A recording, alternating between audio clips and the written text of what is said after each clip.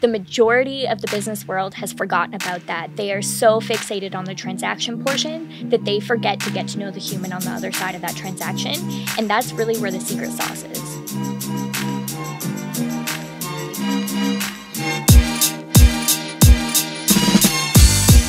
Yeah, the psychedelic space is going to be 100x bigger than the weed space. What kind of psychedelics are you speaking of? Uh, so the first one that's going to be fully legalized by medicinal purposes, and it's going to be the same play as uh, canna clinics. It's going to be psilocybin.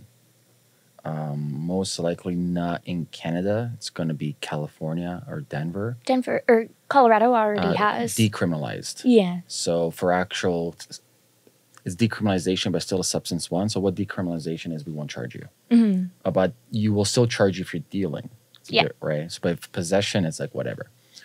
Um, Canada, believe it or not, it's legal. There's a lot of psychedelics are legal already in Canada.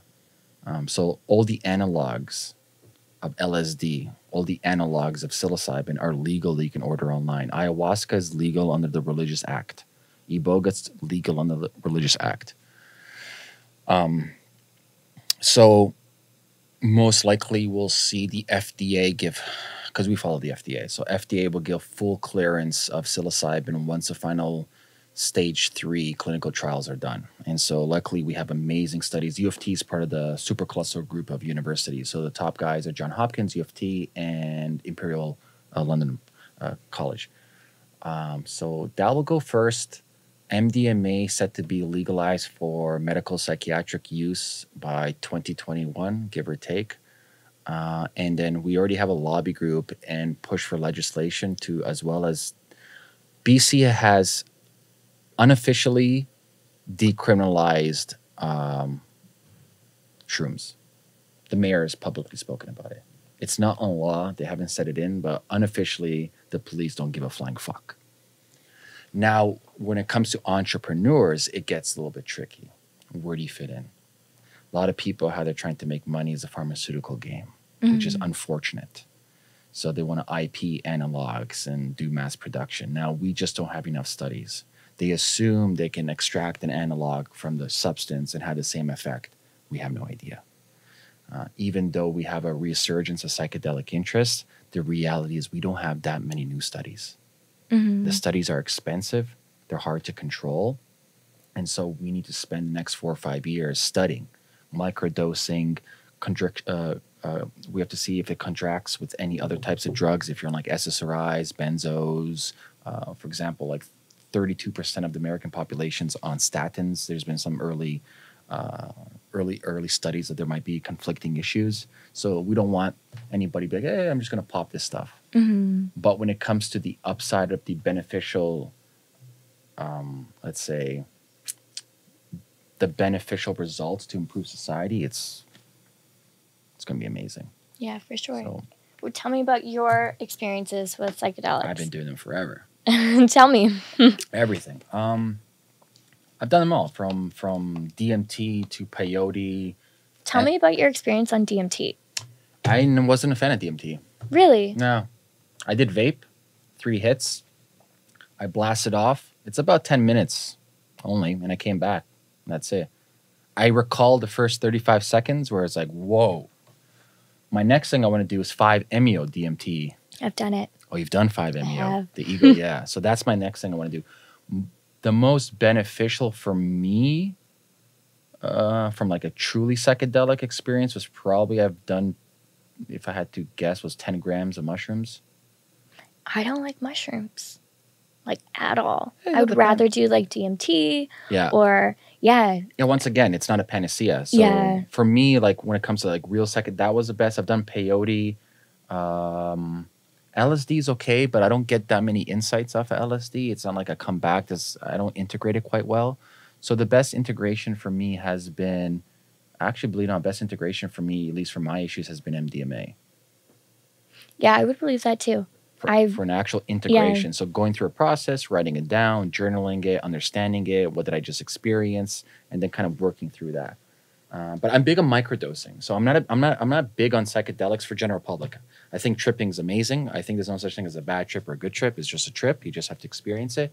But I'm not in the camp of recommending to people like, hey, go do a hero's journey or do Yeah. or or five meo, where it's like that shit will rip you apart. Mhm. Um, and so, and Paul Stamets talks about this. A lot of studies are now coming out where there's a lot of amazing benefits from microdosing, whether it's Mhm. microdosing psilocybin, we're talking about like maybe 0.1, 0.2, 0.3 types of doses.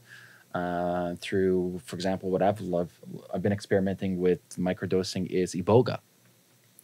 So, you know, you feel a little bit like tiny, tiny stuff. Maybe your equilibrium is off for like 20 minutes and disappears. But when you look back in hindsight and you kind of analyze the day, it's like, it's different. Yeah.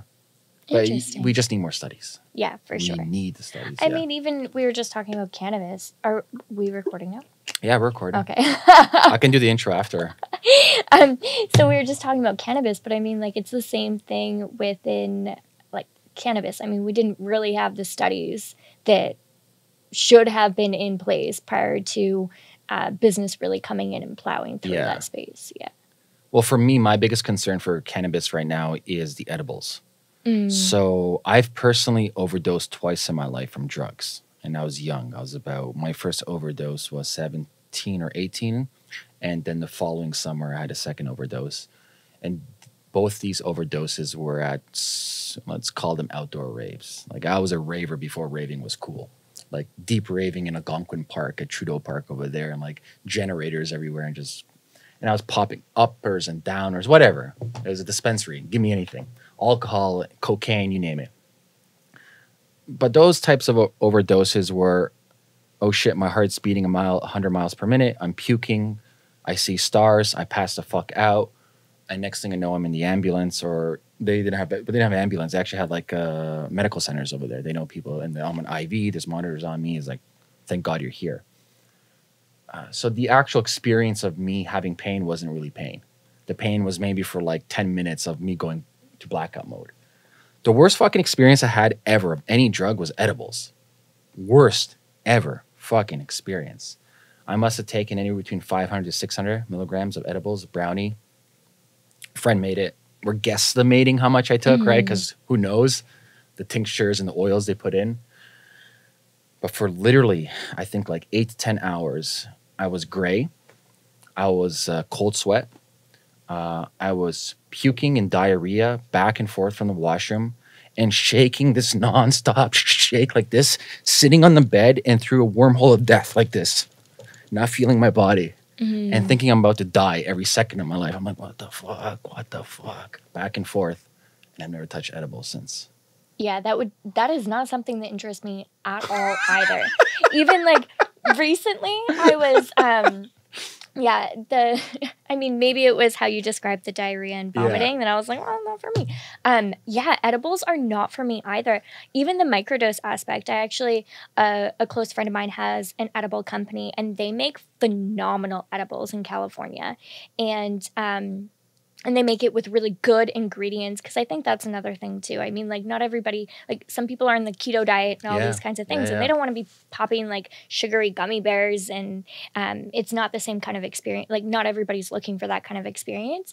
And he was like, yeah, it's just one like the way I get really enthusiastic about like a new like hemp cleansing face wash is the way that he got really enthusiastic about his his like gummy keto um, bite and so I know what that feeling, like that enthusiasm feeling is like. So I couldn't be like, no, like when he was like, oh, check this out, like you should totally try one. It's it's microdose, it's one um like one milligram, and I was like, all right, that can't sound so bad. And like, of course, like I'm sharing that enthusiasm, and I just popped it, and like a couple seconds later, I was like.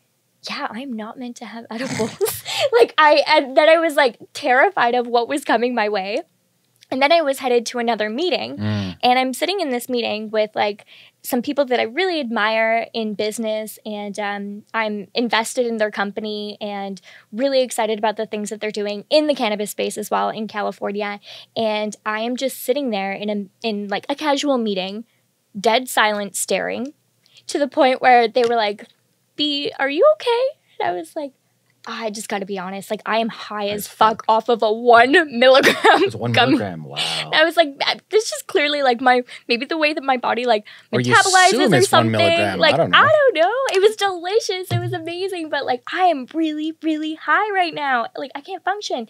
But then he he had like a ping pong uh, table in his office and he was like okay well like let's play ping pong and have a meeting at the same time like keep your hands busy like let's go do something and so i was like the master of ping pong so i mean there's there just has to be a way to market it because i Mm. mean if it was marketed to me as like you're gonna have laser focus Yeah, and yeah. be like you're gonna be able to win every ping pong master after ha- popping this keto bite then I would have like known what to expect. But the fact that like we and it behaves so differently for every single person, um, like psychedelics or anything like that too, that like it's really hard to kind of narrow it into that. So to your point, I think there just needs to be so much more study because yeah, if I would not have had that keto bite and then stepped into a meeting where I'm just staring off into space, like this is why I'm kind of interested to see how the uh, how they roll out the, the rules here in Canada for edibles.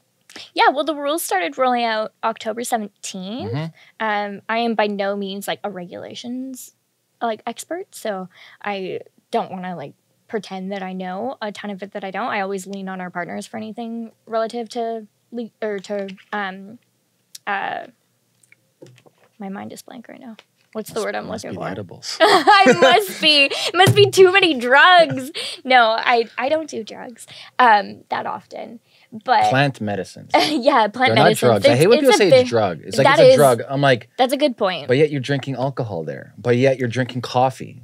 Coffee is probably the biggest drug in the world. That's actually a really good point. And I actually find it fascinating to hear people say that they would rather have their children drink than smoke weed. It's crazy. That's insanity to me. I mean, I don't know. I don't have children, you know, by but like, medical standards, if we discovered alcohol today and we looked at all the negative aspects, it would be illegal. it would be hands down. It would be a class one drug. It's Yeah. a depressant, inhibits how you behave. Um, there's just There's no, benefit. there's no upside. There's no upside. The crazy thing about, like, for example, uh, oh, I gotta pull it up. Um, uh, LD50 weed. So LD50 is a lethal dose 50 of a drug. So how much you need of a dose for the 50% of the population to overdose. Um, I have to pull this up. The LD50 stats is. Uh, here it is. One for in layman's term. All right. So in layman's terms, this means in order to induce. So theoretically, it's possible. But in order to induce death, a marijuana smoker would have to consume 20,000 to 40,000 times as much marijuana as contained in one marijuana, marijuana cigarette within like a given hour or something. Interesting. So theoretically, it's possible. But the amount that you got to ingest, you'll be blacked out by that time. and also, I mean, theoretically, a Yeah. lot of things are possible. Mm-hmm. But it's, I mean, yeah, I don't know. But this is Yeah. why I'm excited by psychedelics. You look at LSD, no LD50. You look at psilocybin, it's one of the safest compounds in the world. There's no LD50. Mm. These are substances where you do it, if you do it uh, through a threshold of having, let's say, a godlike experience or like an ego death or something that takes you in for an experience. There's substances that it creates a relationship. I don't fucking want to do this again for a very, very long time. Like when I Mhm. have, like last time I done something deep was like a year plus. hmm It was, I don't have any craving to do it again for a while. Yeah, you also, I mean, hopefully when you're doing it, you're doing it for an intention Yes. to work through something. And so you can't just do it and expect that something's worked through. Like Mhm. anything in life, you need to put the put work in. It's not going to be gone in a 12 minute DMT experience. And so you need to recalibrate the the information that you've now processed and that the new things that have come to light, the new perspective, you need to reintegrate that and calibrate that into your life. And sometimes that's really painful. Sometimes it's not the the trip that is, you know, the outer body experience. Sometimes it's the like recalibrating afterwards. Sometimes it's going out for lunch with the person who was your best friend before you had this experience, and now you're looking at your relationship completely different. Mm. And that can be painful when you're like, hey, you know what? I now realize I need to step away from, you know, this relationship. And maybe it was the experience that that pulled that to light, but you need to reintegrate yourself into real life from what you learned from that experience. And so I think that it's important that people don't do it back to back to back for lunch every day, you know? Like then you've lost the intention. Now now it's it's a different kind of experience Yeah, without the same kind of intention. I would say intention and integration is the most in anything that you do in life. For sure.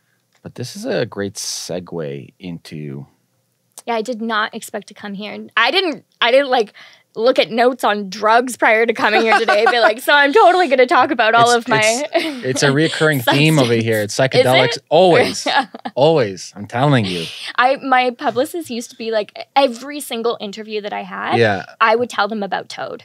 Like I could not It's stop like talking it's like Tyson. You ever watch his podcast? No. Oh. I I oh. have to be honest, Yeah. I don't watch or listen to any podcasts and I think I've maybe finished three quarters of one book in my entire life. Um I don't I don't really absorb information that well that way. How do you absorb but- information? Throwing myself into the pits of the fire and just Mm. Tangible, right? just like Tactile, yeah. like very tactile and very visual and and uh yeah so i yeah but i did not expect my so my publicist all the time every single interview she'd be like you gotta stop telling people about your drug use and i was like but it's fascinating everybody needs to know about this The reason why I brought up Tyson is Yeah. he's done he's done the toad a bunch of times. yeah and it's going so mainstream where like I was watching a clip from e, uh, ESPN and they did a whole segment about the toad. I'm like on fucking ESPN. hmm I'm like oh shit. Like people are catching on, and he raves about it. I personally haven't done 5-MeO DMT yet, but Yeah. uh, it's it's on my list to do. it's honestly i i rave about it as well the last time so i've done it twice uh the last time that i or the first time that i did it um like i got on a, a flight afterwards and went to australia and just like took a beat to recalibrate myself Mm. and changed my life drastically from that moment on and then i did it again um six months later and the experience that i had six months like the second time was so much harder to recalibrate into. It was so much harder to come to terms with of what was in my subconscious, which I knew was there, but you know, there's a lot of you have a lot of blinders on in your daily life, and um, yeah, I'm I'm maybe just now coming around to maybe being interested in doing something again, but like it's been over a year, and that one was that time was really really really hard too. And you're doing this with like a facilitator Yeah. that guides you through the experience. Yeah. Um, yeah, in California, actually. I also prefer to do things like completely. I feel safer when like I'm away from my current environment and the pressures of my Mhm. current environment when I can take the time to like calibrate properly and like go into it with good intention or the not good intentions because it's always good intentions but clear intentions. Mhm. And I find that really hard to do when you are mixed up in the um, pressures of your everyday life. Because they're remarkable, your journey. Like, I think we should maybe start from the beginning. Because, um, you know, at the age of 21, you were living in a woman's shelter and you've created this multi million dollar beauty conglomerate, let's say. And so the the evolution that you've had in the last couple of years has been remarkable. I think mm-hmm. it kind of be a, it would be a really good case study to tell you know our audience is like how did that progress look like? Let's take us back to when you were, were in the women's shelter till now. Like what did that look like? Yeah. I mean, there's a lot of there's like the answer that I give all the time, like the Coles Notes of like, so I was in the shelter, and uh, to be honest, it wasn't the first time I lived in a shelter. Um, a lot of people think that that's where the story starts. Is Mm. when I was 21, I was living in a shelter. I um, had a laptop and fifteen dollars, and I photoshopped a catalog of makeup that didn't exist um, by teaching myself how to use um, Photoshop on YouTube. And then downloaded like a Pirate Bay version of Photoshop. Thank you, Pirate Bay. you guys rock. and um, yeah, and then made this catalog and then shopped this catalog of makeup that didn't exist around to local boutiques and made enough pre-sales to then actually bootstrap this company and build it. And no from- one taught you this whole idea. no, This is all like innate, natural. completely natural. I mean, I dropped out of school when I was 14. Mm. Um, and I was a competitive ice dancer at that Really? time. Wow. Yeah. So I was uh, like figure sk- like figure skating. I did pairs. Oh wow. And um, my partner and I skated like 10 hours a day. Mm. And I thought for sure I was training to be on the Olympic team. And so I thought for sure I'm going to be on the Olympics. And then when my Olympic career dies down, I will be Belle from Beauty and the Beast on Disney on Ice. Naturally. of course, yeah. Of course. And I will skate on cruise ships, and that's my life. Yep. And, um, and so I didn't think much about it to leave school when I was 14. Um, but that's kind of where my education stopped. So, I mean, there is some things that I I crack jokes about it now. Like there's certainly some things that I can tell that my education is like, but but my Don't worry. Emotional. I, I never finished high school. They- Okay. They, kicked me out in grade nine. Okay, Yeah. so we're like, there we go. Um, so yeah, and I think that's also I was mentioning before, like I don't really like read books and stuff because I'm I'm really slow at it. And um, but what I have really become good at because of some of the challenging experiences I've had in my life. Um, like I mentioned, uh, at 21 wasn't the first time I lived in a shelter. The first time I lived in a shelter, I was six months old, and so Hmm.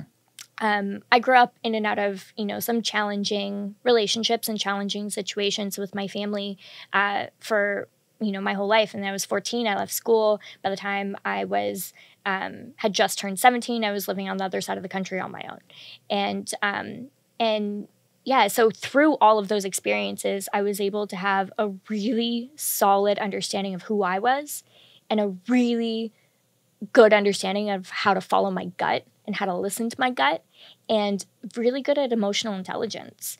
And that I think some of those skills are incredibly important skills as an entrepreneur.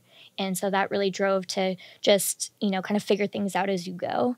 And um, yeah, so I photoshopped this catalog and it was just something that came naturally. And in fact, I was just distracting myself from my reality. It's nothing that I anticipated I was building a business.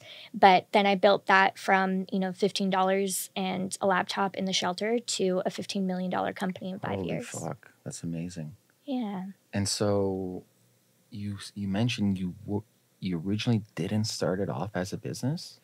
No, it's not like I was in the shelter thinking like, all right, this is my business plan. Yeah, this is what yeah, I'm yeah. gonna do. Like I didn't know. Like I didn't. I didn't even know what an entrepreneur was. Mm. Um, I was simply just distracting myself with from what my reality was, and I was interested in makeup. I did some makeup um, for like weddings and things Okay, like so that you, for you friends. saw this catalog of makeup, you Mhm. photoshopped it, and you put it online. Yeah. Like a, whatever website. Uh, well, it was like I think it was. Um, well, I actually physically got some printed. Okay. um, which were like ten dollars a catalog from oh, what was it called at the time? It changed names now, but I think it's like Issuu or something like that. Like it's free digital online Yeah. catalogs, and so it made it really easy to like have this digital catalog and copy the link and send it off to people. And was the company called Evio at that time? No. Ah. And actually, this is part of the story I don't share nearly as much. Um, but it was actually called Karma Face Cosmetics. Carmen Face Cosmetics. Okay. Karma Face, Yeah. like what goes around comes yeah, around, yeah, like yeah, yeah. karma. Karma. Oh, got it. Yeah. I thought it was clever. cool. I thought so. And um, the reason why I was in the shelter was because I was leaving a unhealthy relationship. I was leaving an abusive relationship, and um, when I was in the shelter, um, shortly after that, I ac- I actually left and. I say this like I'm really vulnerable about this because I think it's important to be honest about these things because often you get asked like, "Well, why did you stay?" and Mm. or people you know have a certain perception of how domestic violence is and so i'm pretty honest about it that like after the shelter i even went back um, and things got a lot worse he ended up being arrested and while he was in jail he trademarked karma face cosmetics what? and In, from me. jail? He was he was on house arrest Ah, okay. um, w- awaiting his trial and um, he trademarked karma face cosmetics and sued me for infringement Jesus Christ. and so at that point, I had the products on the shelves because it took, um, he waited, it was about three months in between this time. And so I had products on the shelves. And um, yeah, cease and desist got sent to, he sent cease and desist to every shelf that carried us, to any manufacturer that he knew that we were working with. Um, and yeah, threatened to go after them if they continued to produce. And so everything came to a screeching halt very quickly. And I learned a lot. Um, in the first couple years of being an entrepreneur because of those experiences as well. A lot of resilience and a lot of persistence. Mm. and so i ended up after fighting it for a little while i recognized my energy It's like getting drained for this. yeah, and and for what? Um really you know it wasn't worth anything at that time. And it was you know some great experience and it was a lot of hardship. And i said you know keep it. And i started over and that's when evio was started. So evio really started about a year and a half um, after karma face yeah so the the start of the story is really karma face in the shelter Wow, that's crazy. yeah So what was your? What was your strategy when it came to because the cosmetic and beauty space is saturated. mm-hmm. Like you know, I've walked into maybe Sephora with my wife two, three times. And it's like overload for me. I see everything. I'm like, yeah like what the fuck's going on over here? It's like a zoo. It's chaos. it is Um, and so. and there's passionate consumers oh yeah, it's yeah. insane. It is. Did you know it is the number one watch thing on the internet? Um, well, besides porn, Mm, is cosmetic tutorials. really? Yeah. There's that too. There's that couple. I don't know if they're together or business partners. They just the most ridiculous. They just sold out something like ten million dollars in sales of their beauty line. Oh, I'd Some believe it. Instagrammers. I was I'm like, what? In 24 hours, I'm like, holy fuck, this is insane. Yeah. Um, what what was the gap that you saw that Evio came in and filled? So when I first started, I didn't really. I didn't really see the gap. Uh, what I was doing was I had lip glosses and I Mhm. named them after women who inspired me. And ironically enough, so this was like seven years ago.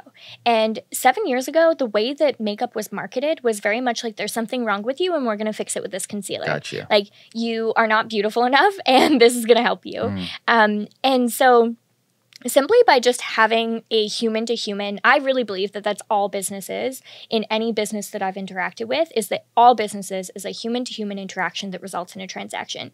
And unfortunately, the majority of the business world has forgotten about that. They are so fixated on the transaction portion that they forget to get to know the human on the other side of that transaction. And that's really where the secret sauce is. Is that when you know the person on the other table, and it doesn't need to know them personally, but when you know the ins and outs of what their goals are, what makes them tick, why they're doing what they're doing, you can negotiate one hell of a deal. And that results in a better transaction but so many people are missing that in between stage of that human to human connection. And so really that's what i was doing with the cosmetics as well. I had five lip glosses and i named them after women who inspired me. And that was really my message at the beginning when it was karma face was um, you know it's makeup by women for women. And ironically enough too the it's starting to shift a little bit but uh, cosmetics is predominantly managed by men which that's fine. Like it's a high margin business area and we have to all work together and um, there's a lot of room for both of us to be involved. But the interesting thing about that is that the men in the room, the majority of them, if not all of them, don't wear makeup. So they've never tried the product, but Yeah. they're deciding what product is going on our Mm. skin. And so that was the mes- messaging at the beginning. Um, and I've, as I've evolved, it's evolved as well. Also, society has evolved. And so I don't necessarily subscribe to that female empowerment aspect anymore. I think, like, I think that equity and equality is super important, but I think we need to work together. I don't necessarily subscribe to, like, hey, let's have just like a female only. Um, in fact, my board of directors is a lot of old white men. And that's not Well, you're- necessarily. Well, you're. Correct me if I'm wrong. yeah. you're looking for the best suited talent that you need, regardless of if you're white, black, purple, pink, alien, exactly. non-binary, female, men. As long as you're the best at this role, pff, you got the spot. Exactly. Yeah. And as long as you are stepping up and putting your money where your mouth is or putting your time where your mouth is, Mm. and um, as long as you believe in me and you believe in this vision and you're willing to, you know, give the support that's going to help all of us flourish. And unfortunately, you know, t- not enough time has really passed of women being in the work field for us to have that same kind of equal opportunity. Our time is coming, Yeah, and the women before me have fought for it, and we're certainly embracing it. But we can't be mad at time. Like we need to anything that's sustainable. You know, there, time has taken place in order Mhm. to refine it and and um, you know get your footing in it. And so, unfortunately, the pool of of women just isn't nearly as much as the pool of men and uh, at least with that kind of like capital and that kind of experience unfortunately and we're start we're starting to get to a place where that's not as true which is amazing like that's that was my whole um, Mhm. vision and and passion towards it but um but yeah, so what really has now driven and kind of evolved with Evio is that honestly, at the end of the day, before the way I was messaging it, and our mission hasn't changed, the way I was messaging it was female empowerment, and now it's just do the right thing. Do the right thing, yeah. Like we literally have a giant neon sign that says do the right thing even when no one's looking. As soon as you walk into our office, and it's a hidden message on every single box. And it shouldn't be whether you're black, white, or purple, or female, or male, or transgender, or anything. Just do the right freaking thing. Mm-hmm. Um, and and we don't really need to have all the conversations in between. And to be honest, that also gave me a bit of like a identity crisis with my company Sure. because I was like, I'm no longer passionate about having this conversation. And um, it took me a while to get to a space uh, that I was just like, yeah, I'm not going to have that conversation of female empowerment anymore. But that's that was what made us different at that space was that we were really, you know, walking that talk of female empowerment and one of the first to do it. And then we also were natural and organic, but not at the beginning. Um, at the beginning, we were actually full of chemicals and not good Yeah, for your gonna, skin I at was going to ask you the question. So even when you started with Karma, Yeah. now Evio, um, what was your strategy of like where did you get where did you get the products from? Was it like white label? Did you you know work with somebody else? Was it like a JV Yeah. deal? So Karma Face was all white label. White label. Yeah. Um, and yeah, that's kind of like how I got things started. so I there's full service. There's full services out there. I can right now be like, hey, I want to start a beauty line. I can call them up and boom, yeah, absolutely. yeah. You could have it on shelves in a couple of weeks. cool. and uh, and that's pretty common. Um, so that was that was how we started Karma Face, and Karma Face was uh, not natural organic at all. Um, and then, but as you start to really want to create formulas with value to them, and as you start to see like this this niche that needs to be filled in this white space, then you often have to get into custom formulating. So we got into custom formulating um, when we got into Evio. And the first product that I ever custom formulated was a green tea primer. Okay. And that green tea primer, um, I was able to pre-sell 277,000 of them. And I did it the same way that we did um, just I photoshopped a uh, green tea primer and then sent it around. Um, and Ipsy actually picked it up. So um, yeah, there Say that number again. How many pre-sales? 277,000 of them. Fuck. Yeah. And so Ipsy was kind of your distribution, or How do you- Ipsy yeah, is like a how- subscription box. yeah, no Ipsy, yeah, Yeah, yeah. So was that the main form of eyeballs? The Yeah, at that point we also wholesaled. So Gotcha. um, with Evio, we don't wholesale. It's all Okay. direct to consumer. In fact, we're launching a really cool new way to shop, which I think is going to change the way that retailers and brands work together globally Mhm. um, in 2020. I'm super excited about it. People will no longer buy things; they will buy experiences. experiences, yeah. And I'm really excited to be a part of the beginning of bridging that gap because historically, you know, brands and retailers didn't really work together on on that kind of scale. And so, um, yeah, we we were selling to wholesale stores at that time too, and that certainly helped. Um, and then sampling boxes helped as well. Yeah. What do you think was one of your major catalysts for getting, let's say, more organic interest within E Evio? Like more with Evio than like well okay so we were Karma Face and then the line that we sold um Evio that we sold uh, wholesale that wholesale line was called Evelyn Iona which we still sell to this day but now we sell all direct to consumer. And then we came out with a new line that's all um, custom manufactured. We spent a lot of time on these formulas. They're all natural organic and um, don't contain water so they are conserving water um, resources as well. And uh, th- those are called Evio. So really, we're kind of talking about two brands there, but um, yeah, they. So we were able to get, I think, a lot of like organic traffic on it. Simply just going back to the same thing, like it's not that complicated. It's a human to human interaction. Mm, And I think also by sharing my story. So when I was ready to be vulnerable and share my story in a way that I could control the narrative, because I never wanted people to feel sorry for me or anything like that. I, I wanted it to be an empowering thing. And when I started sharing my story um, and finding the right way to do it, it became not about me at all. In fact, it came about how many people could see themselves in my story and how many people were inspired to dream bigger no matter their circumstances. And so our product became a symbol of that. In fact, we had somebody write to us. They were they were from Winnipeg and she bought our product. And um, actually, the first time she got our product was in a sampling box. Uh, it was GlossyBox, and she said that she keeps her empty packaging around her house of our Evio products because it um, reminds her that anything is capable. And so I think people really started to resonate with my story, and that if I could accomplish what I did um, in my circumstances, that they could do the same because, like, I'm an ordinary Joe. And so I think that's what a lot of the traction came from. It's an impressive story, I got to tell you. Thanks. Um, the, the reason why I asked you about did you have any education or did anyone mentor you? It's uh, especially in this day and age when people are raising uh, copious amounts of capital, you had the let's say common sense insight to be like, well, sales matter. Mm-hmm. You know, even though I may not have the pra- product on hand right now, I can pre-sell this stuff. hmm Right, this like natural instinctive nature of like, duh, I need to sell this shit. Yeah. Um, And I mean, at that time too, like not even a bank would touch me with a 10 foot bill. I didn't Mm. even have a home address. Um, it's a privilege to have a credit card. I didn't have a credit card for the first four years, three years I ran my business. Um, so, like, at what stage did you guys raise capital? um, the first time that we raised any capital was 2018. Oh wow, Yeah. wow, just last year. Mhm. Holy shit. And a lot changed very quickly in 2018. Yeah. Hmm. So where do you see the future right now with Evio? I know you mentioned this cool, new, interesting, uh, Yeah. experiential thing with customers. Yeah. So I'm really excited that we we have um, a platform that we're spending a lot of time getting to know people. Mm. I mean, uh, we I- and we kind of spoke about this before. Like when people raise money, sometimes you kind of get away from your roots.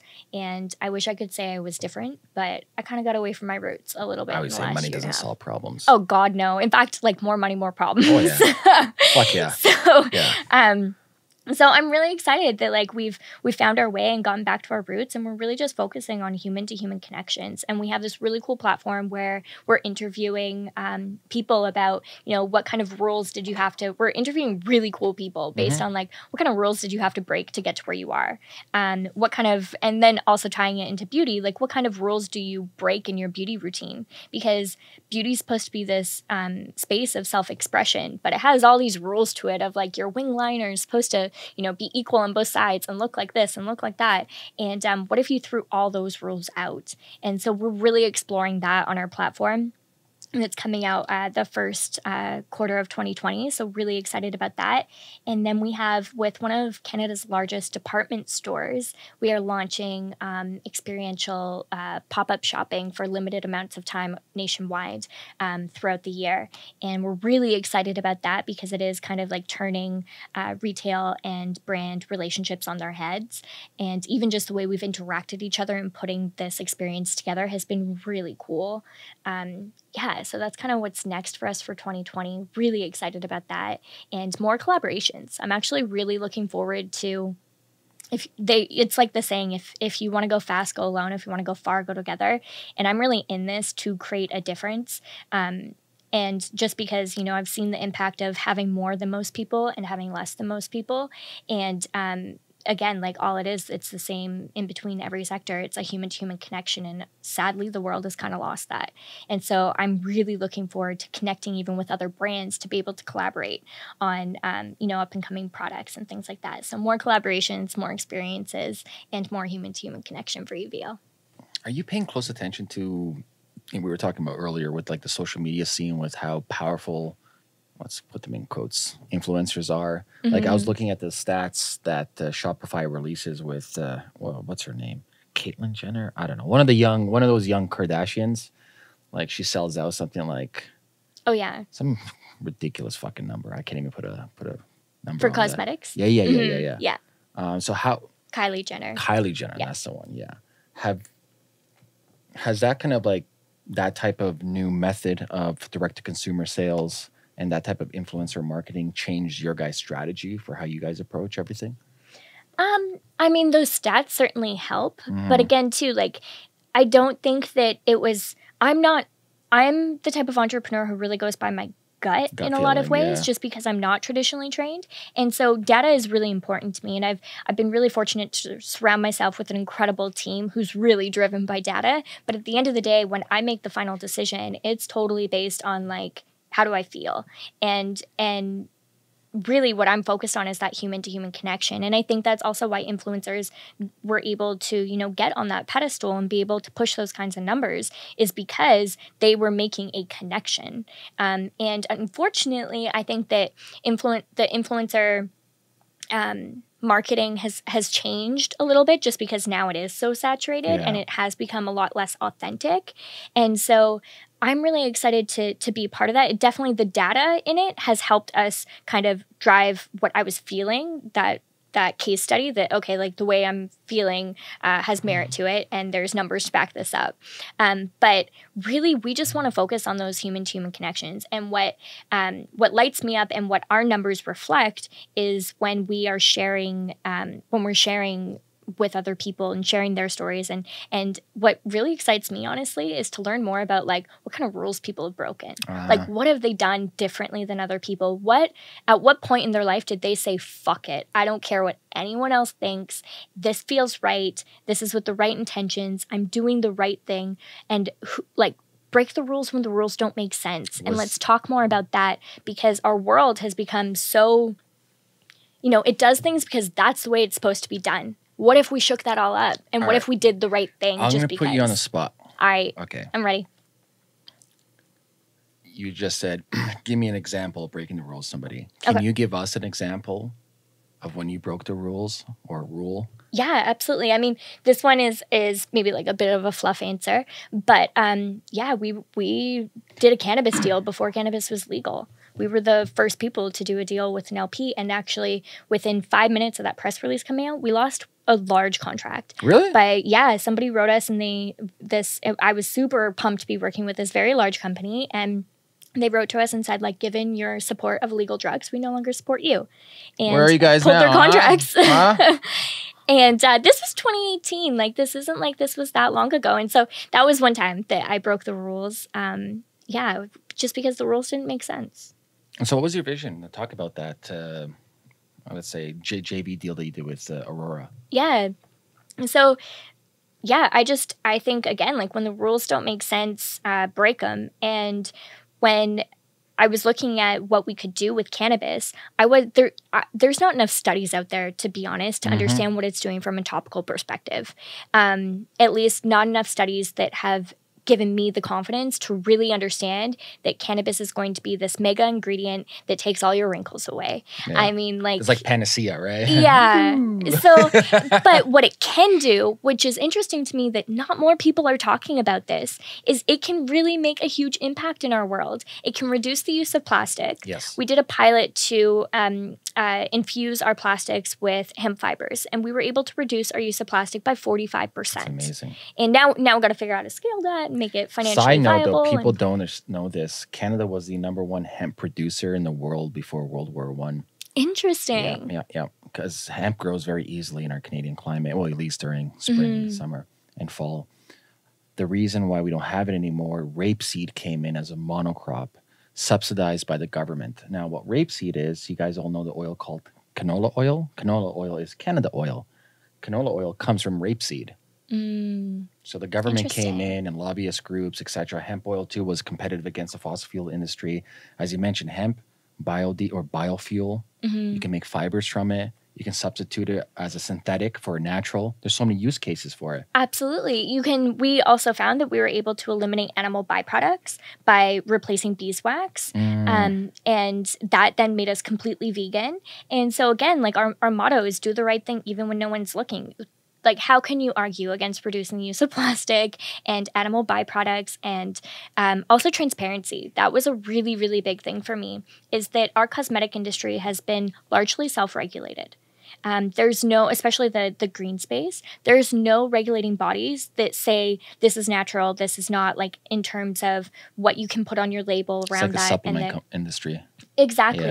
Yeah. And so, and I mean, I'd I'd like to think that everybody's doing it with best of intentions, but the truth is, is the greed is running the industry, and you can it good practice is actually good business and it's good profit. Mhm. and we just have gotten away from that. And now now we're doing it this this unfortunate way because it's the way it's always been done where we kind of need to wheel back and just do the right thing and break all the rules because they no longer make sense. And cannabis helped us do that. And it also helped us you know raise capital um, it helped us you know scale up from that perspective and it helped us do the right thing and it helped us increase transparency with our ingredients because you know avocado or sunflower oil these are great ingredients but they're not regulated the same way cannabis is um, we can't tell you exactly who grew that sunflower and exactly where and how thing, it was done Crazy thing about avocados now, the cartels are getting that business. They're controlling. What? yeah, it's really profitable for them in Mexico. i mean i get it avocados are so expensive They are. Yeah.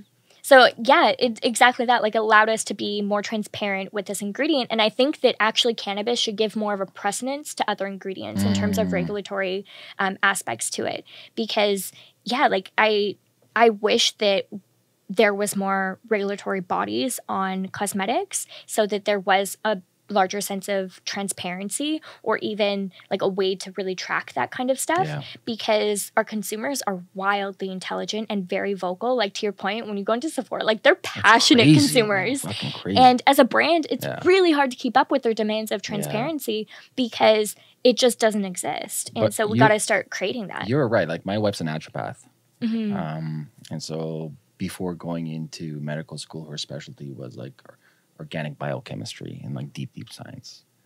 And she's a stickler when it comes to like what she uh, like what she puts on her face. Like I Mhm. sometimes buy some crap. She's like, "What the fuck is this shit?" You know, throws it Yeah. at me. This is crap. I'm like, "What the fuck do I know?" yeah. Um, but yeah, But like, it's even hard to read the label. oh yeah, yeah, yeah. Because it'll say like natural, and you'll think like, "Hey, like, hey, babe, like I did a great That's thing today. I got a a, hidden natural, word, natural. right? Like I got a natural skincare product. Like, be proud of me." And the label probably says Oh, yeah. otherwise. And she goes in on the science. Like she looks at every ingredients, Mhm. and uh, you, know, you can look up a bunch of these ingredients and go on PubMed, and any- it's like that stuff shouldn't be on your face. And your skin is your largest organ. Yes. Like it absorbs that into your bloodstream. Yes. And there's no regulating body. So you hope that people are just doing the right thing, but unfortunately they're not. And and greed runs a lot of that. And also also now that's just been the precedence is that that's okay. And so I think that it's important to change that. I agree. Have you seen uh, an uptick in, let's say, like interest from men in this industry as a consumer? Yeah, it's actually really interesting that I have seen um, I've seen a lot more men openly be interested about it. I've also seen a lot more cosmetic companies um, geared towards men. Mm. I'd say right now though, we're I'm seeing a lot of um, a lot more like gearing towards um, men who are more like feminine type features. Mhm. I hope and I think I think the trend is going in the direction where it's going to become more like masculine. I think also just the trend in society is that people are talking more about like masculine and feminine energies and the balance of the two and how it's okay for a woman to be masculine and, and it's okay for a man to, you know, be vulnerable. And so I think just by nature, a lot of those industries, including the cosmetic, will start to like cross over in terms of marketing strategies. And then therefore, if you're marketing towards a man, it's more likely that a man will buy it. And so um, there, you've seen a little bit of that, but not a ton yet. But certainly an upswing from, say, like even a year ago. Interesting. And so these products would be like, what do you think they're buying? Um, well, I think skincare has become much more is a big important to men. Yeah. um, than it has been historically, for sure. Um, and I think a lot more men previously they would just like borrow their girlfriend's skincare Mhm. or like use body soap like to wash their whole like face and everything too. And I think you're seeing a lot more men get into their own skincare regimes now. Um, so that certainly is an upswing, but also uh, like. Um, uh, skin tone and uh, like foundation. So like having a more uh, like cosmetics that will give you the appearance of having more clear skin. Interesting. I've seen a massive explosion in uh, what's it called? Um, beard oils and such. yeah, like anything yeah. to do with beards. Like it's Mhm. fucking crazy. They're everywhere. Yeah, it's like the masculine version of like of like self care. I'm- yeah. I'm, lazy. I just throw coconut oil on sometimes. That's awesome. Yeah. That's not lazy. That's like super conscious. That's great. yeah. But um, go, going uh, back to our original talk, so About psychedelics? yeah, Oh, okay, yeah, we're gonna have a good good transition from uh, the products with hemp, etc. Um, we see that the psychedelic space is going to be the new weed space. And uh, I agree. I've been in the space for a while. I'm a personal user of the plant medicines for, oh God, since I can remember. And I think it's going to be 100x more beneficial for society. Because psychedelics isn't just one plant medicine. You're talking about, Jesus Christ, so many, plus the Mhm. analogs and the analogs, etc. Um, do you see beauty having a synergistic relationship as it has now with the weed industry, with the psychedelics, let's say four or five years from now? Interesting. Um, I mean, actually, a trend in beauty Yeah. is that there's a lot of cosmetic companies that name their products after drugs or have a lot of like marketing that are all about drugs. Um, and so I wouldn't be totally surprised if there was some kind of crossover. I'm currently having a hard time seeing where that synergistic aspect will be because I don't see the added like value of you know eliminating plastic or um, what about like use of mushrooms, like in products? in an ingredient actually yeah you know what it, and like i see it more from maybe like a supplement aspect or like Mhm. um, there's a lot of like digestible cosmetics um, and maybe you know what i just again like i don't have enough information to really know what kind of what's the upswing of say a mushroom ingredient in like is it going to help with emolliency is Mhm. it going to help with um, is it high in omega 3 6 and 9 or like what kind of benefits are there to that ingredient i don't know but i could see how it could help to what we are just speaking to of like the transparency so if mushrooms had the ability to say replace you know some shitty ingredient that's currently in there and is also regulated now there's that transparency aspect to it and it definitely would be an added value i just don't know like do you know what is in mushrooms that could potentially be helpful from a topical perspective? It depends. There's so many different mushrooms. There's medicinal mushrooms. There's different forms of psychedelic mushrooms. Um, there's also what people don't kind of pay attention to. There's the actual. You can manipulate and grow fungi into plat. Let's say uh, a substitute for plastic, or even substitute for wood. oh interesting Highly durable, highly uh, highly flexible, depending on how you build it. Uh, and there's many like imagine instead of like let's say you have a makeup case uh, Mhm. with a mirror inside and whatever foundation you're using. That can be a beautiful 100% organic mushroom case. hmm Yeah, see, then it And even certainly has a place is for it. amazing. Yeah. Yeah. So stuff like that's interesting. And what about scalability and cost on it? Because that's such a big thing in beauty because our margins. Every six weeks, you can grow a massive batch. of this stuff. Interesting. They grow in bags. And what about to process it? Is it Pretty an expensive yeah. processing process? Mushrooms, you can grow in a greenhouse. Interesting. They're so durable and cheap to grow. They, uh, sanitation is really important because you don't want cross chem- uh, cross contamination.